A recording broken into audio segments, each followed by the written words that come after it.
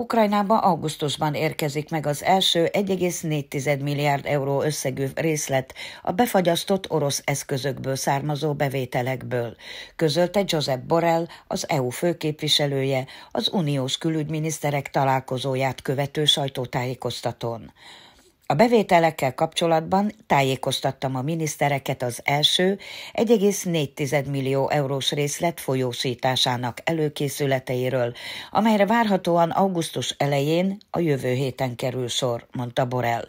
Hozzátette, Ukrajna ezeket a pénzeszközöket bérekre, katonai berendezések, légvédelmi eszközök, tüzérségi lövedékek és az ukrán ipar fegyverei vásárlására fordítják.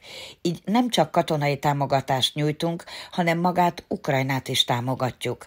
Ez természetesen a leglogikusabb és leghatékonyabb út, amin járhatunk, hangsúlyozta az EU főképviselője. Korábban arról számoltak be, hogy az Európai Bizottság hamarosan előterjeszti a tervet, amely szerint 50 milliárd dollár összegű hitelt nyújt Ukrajnának a befagyasztott orosz eszközök terhére.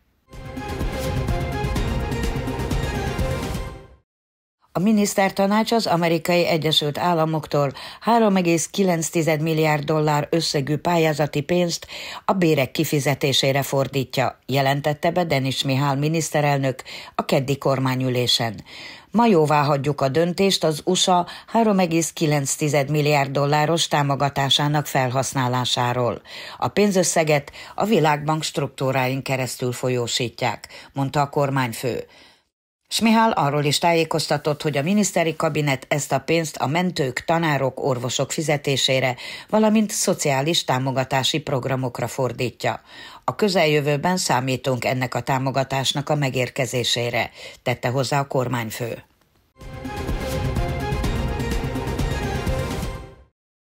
Szlovákia nyilvánosan ellenzi Ukrajna katonai támogatását.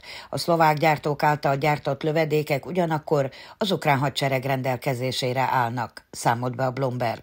Szlovákia védelmi minisztere ragaszkodik a lőszergyártás jelentős növeléséhez.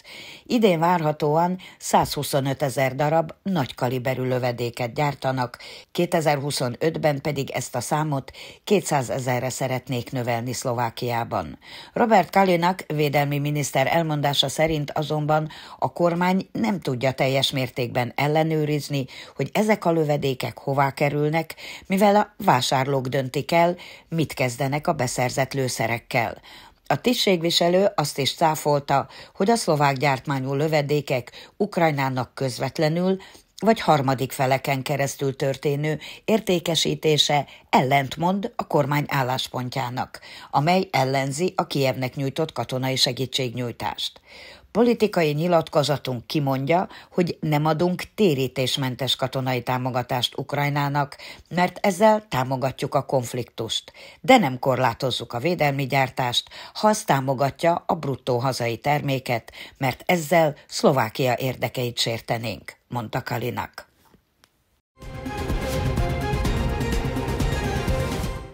A hadkötelesek számára létrehozott Reserve Plus alkalmazásban egy speciális jelzés jelenik meg, amely megerősíti az adatok frissítésének tényét. Számolt be Katerina Csernohorenko védelmi miniszter helyettes a Liganetnek adott kommentárjában. Elmondása szerint a jelölésnek minden férfinél meg kell jelennie, aki a törvényben meghatározott határidőn belül, azaz július 17-ig frissítette adatait.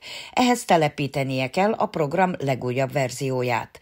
Ezt követően be kell lépni az alkalmazásba, rákattintani a hatköteles neve melletti három pontra, majd a dokumentum frissítése gombra. A katonai regisztrációs okmány felirat alatt megjelenik egy pipa, és az adatokat időben frissítették felirat. A tisztviselő kifejtette, ez segít azokban a helyzetekben, amikor például egy állampolgár frissítette az adatokat az adminisztratív szolgáltatás nyújtó központban, és július 16-a után töltötte le a Reserve Plus alkalmazását, és újra frissíthette vagy pontosíthatta az adatokat. Ez a jelölés több funkciót lát el. A hatköteles nyugodtabb lehet, hogy időben frissítette adatait, a toborzó központ és a rendőrség is látja ezt a speciális jelet, mondta Csernohorenko.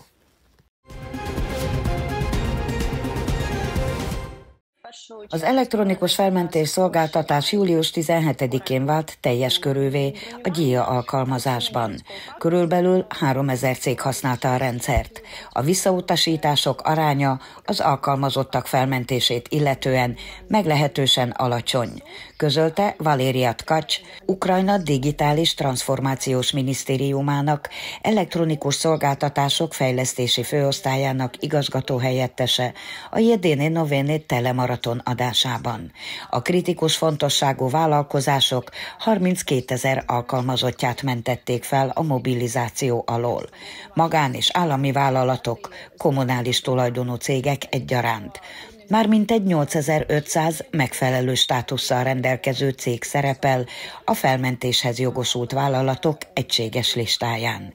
Már körülbelül 3000 cég élt ezen jogával, hangsúlyozta Tkács. Elmondása szerint kevés esetben utasítják vissza a felmentést. A legtöbb esetben már korábban felmentett alkalmazottról van szó, vagy az illető nem szerepel a hat kötelesek nyilvántartásában, vagy nem áll munkaviszonyban, magyarázta a tisztviselő.